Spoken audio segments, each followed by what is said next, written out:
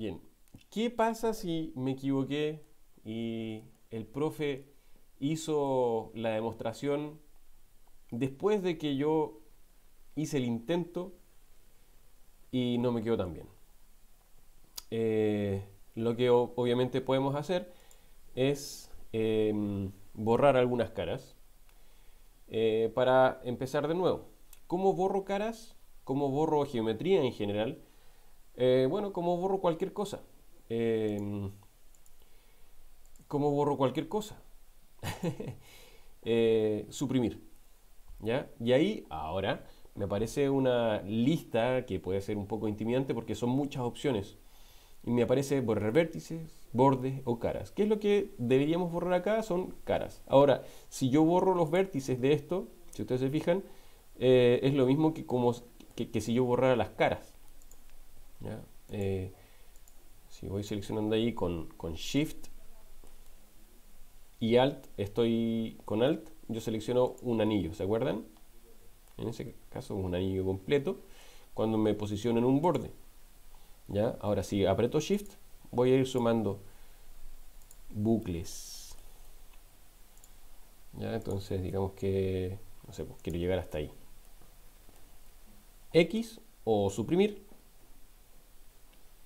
y borro las caras o los vértices eventualmente. ¿Ya? Hay otra manera de borrar, si es que, por ejemplo, yo quisiera borrar un, vértice acá, ¿ya? Porque, por ejemplo, este me quedó, me quedó raro o, este me sobra. Eh, quiero borrar este, este bucle o este anillo de, de caras, entonces lo voy a seleccionar y cuando pongo suprimir me aparece eh, si borro los bordes, me queda la escoba. Porque aquí todavía quedan bordes, las caras desaparecieron y quedaron solamente los bordes acá. En vez de hacer eso, lo que vamos a hacer es eh, disolver bordes. Lo que hace es, básicamente, deja las caras, eh, pero elimina ese, ese bucle de bordes. ¿Ya? Entonces me queda un borde más, más alargado.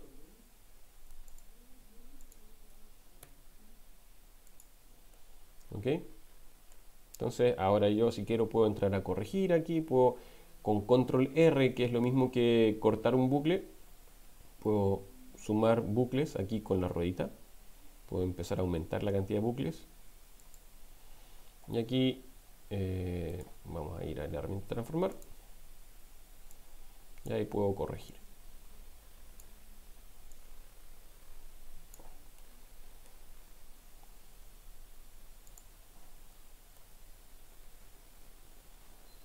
Ahí se ve un poco quizá eh, delgado así que vamos a escalar un poco ese bucle